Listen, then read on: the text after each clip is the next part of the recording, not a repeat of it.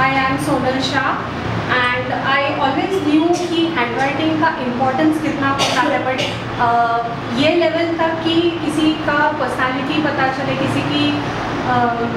qualities क्या हैं वो पता चले